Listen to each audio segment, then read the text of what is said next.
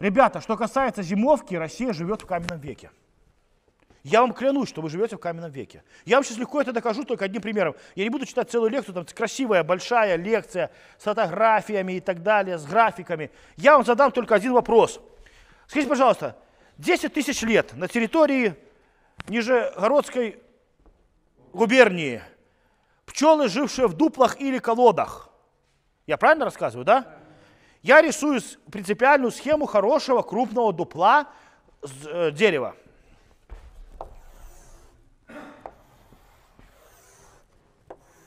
Это срез условный, потому что дальше идет дерево.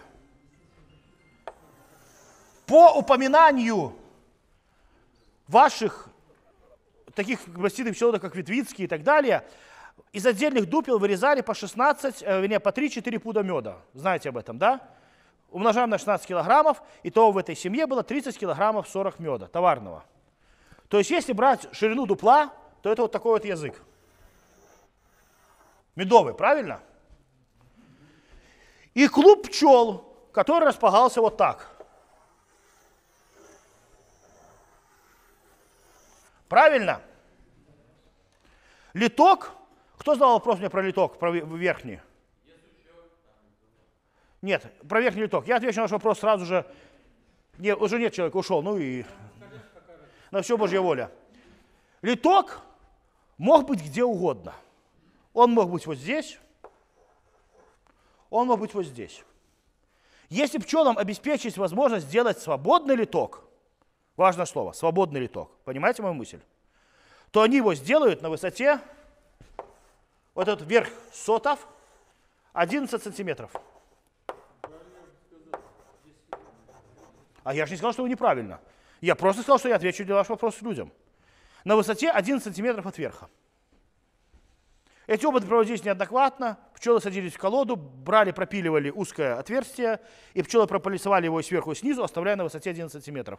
От 11 до 13, если быть более точным. Так вот ответ на ваш вопрос. Вот литок, вот клуб. Где подушка? Кто грел этих пчел 10 тысяч лет назад, кроме Госпо, Госп, Господа Бога. Вся масса дерева, выше находящаяся, превращается в ледышку, потому что дерево промерзает насквозь и имеет там кусок сумасшедшего страшного льда. Это лед, коллеги. Потому что в древесине содержится вода. Это промерзший лед. И, и движение, где-то всего лишь полтора процента движения этого. Кто грел сверху? А тогда есть вопрос, а какого лешего вы сверху ложите подушку на ваших пчел, думая, что вы делаете лучше? Вы знаете, как надо? Я не знаю. И они вам не говорят. Но мне дедушка задает вопрос. Вот я тогда наставил зимовать на улице. А кто 10 тысяч лет назад в этом дереве, где толщина была вот здесь вот 5 сантиметров стенки в среднем, потому что там даже забыла начинается уже движение, 5 сантиметров стенки обыкновенной древесины. Кто их оборачивал рубероидом или прятал в зимовник? Почему вы считаете, что для того, чтобы пчелы успешно зимовали в вашей широте, нужно зимовник, нужно оборачивать их рубероидом и сверху ложить подушку?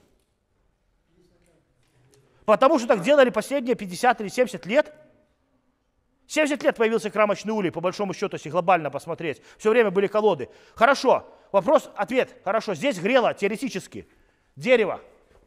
Хотя там лед, я еще подтверждаю. А кто грел в колоде? Здесь сверху был кусок этих, э, ну, срезины по-белорусски называется, э, кусок сотов, на который одевали соты, и сверху лежал кусок коры срез, срезанной соседней сосны.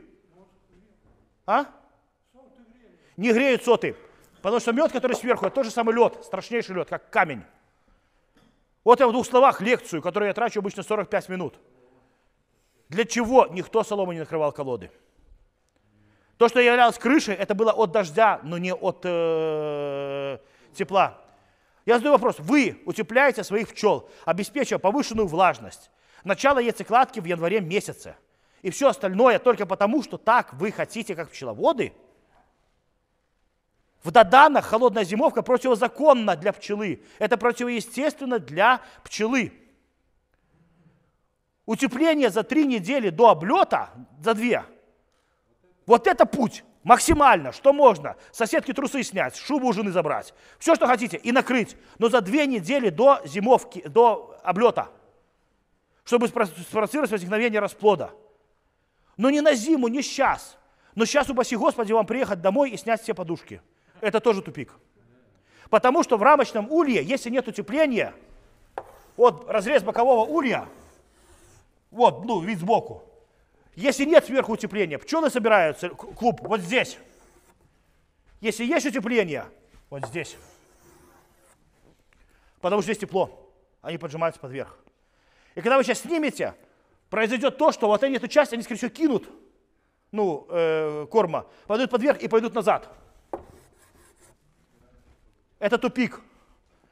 Ну, поверьте мне, я имею в доданах семей, наверное, 70, может быть 60, потому что продаю пакеты. Ни один улей в Беларуси не утеплен.